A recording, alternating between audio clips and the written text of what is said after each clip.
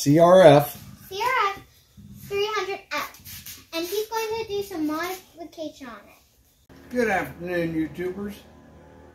We are getting ready to do some modifications on the old CRF 300L.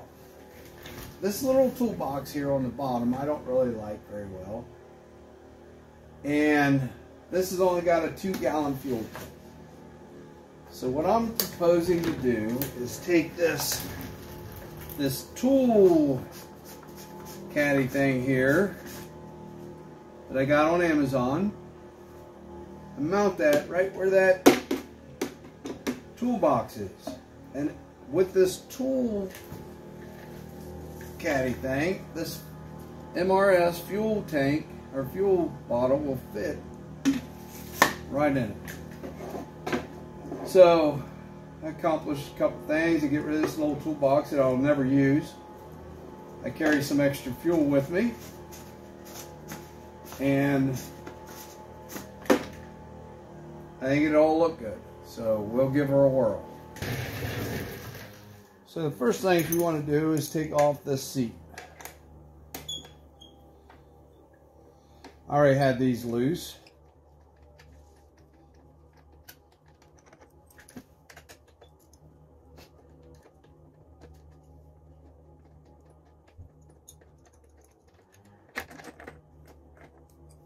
Okay, took that off.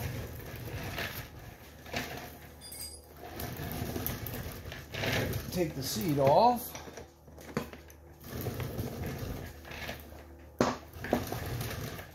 Then we take this bolt off down here. Okay, pop this thing off. All right.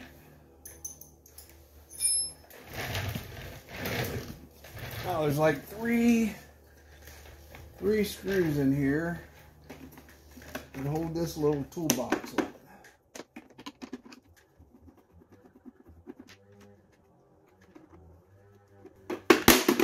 Ooh, Pop that off.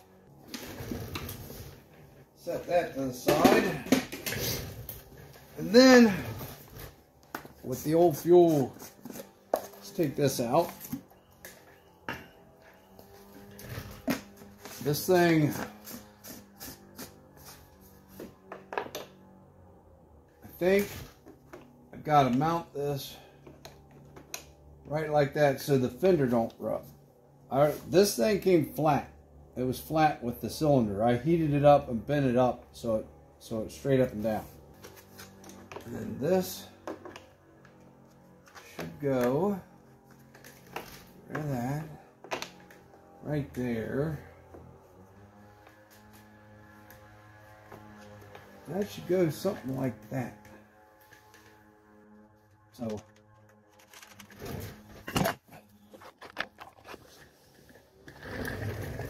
as I drilled a couple holes in that bracket right there. I might drill another one. And then this thing down here, I am going to cut that off and there's a bolt hole right there. I am going to make a bracket to fit from there to there out of some stainless steel. So but I think it's going to turn out pretty good. I had to make sure that it was not in the way of the sprocket and the, or the chain and the chain guard. So, but let me make that bracket and I'll be right back with you. Made this bracket right here out of a piece of stainless steel that bolts on here, that bolts on there. So I'll get this bolted up and we'll go from there. Okay, I block, put some Loctite on there, got it all bolted up to there. So now that's going to go on right here.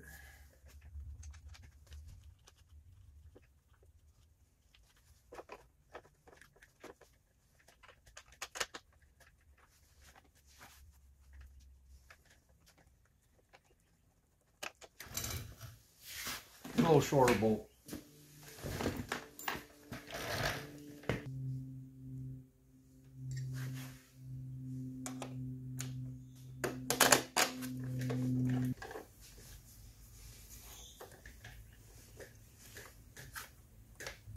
Make sure my fuel thing fit in there still.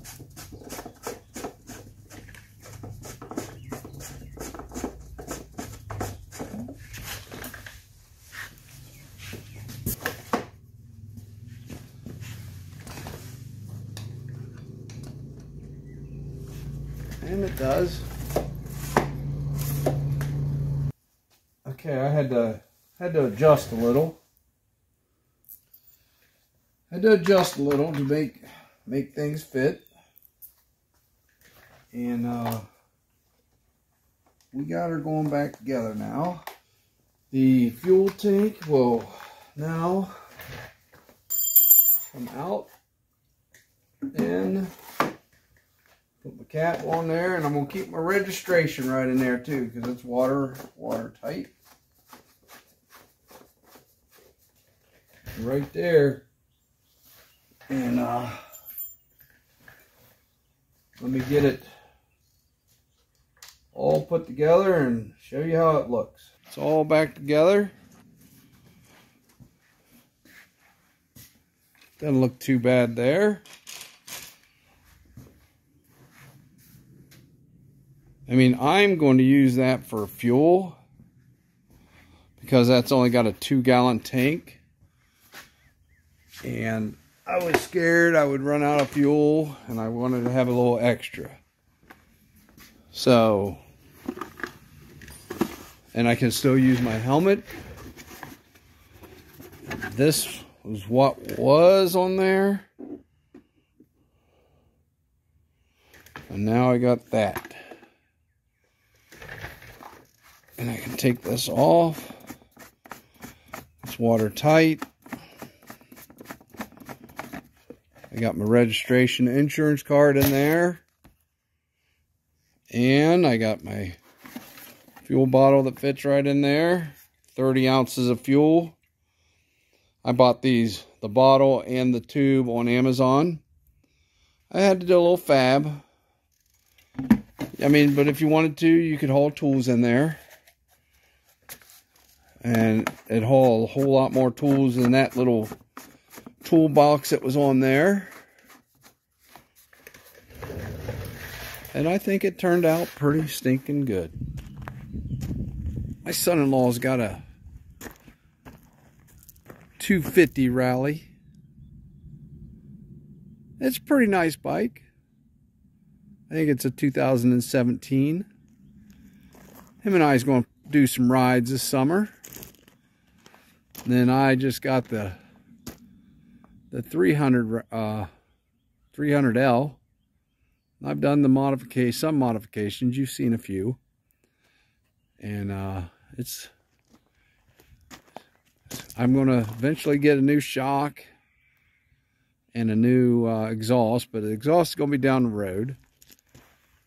He's already got an exhaust on his. It sounds pretty good and runs pretty good.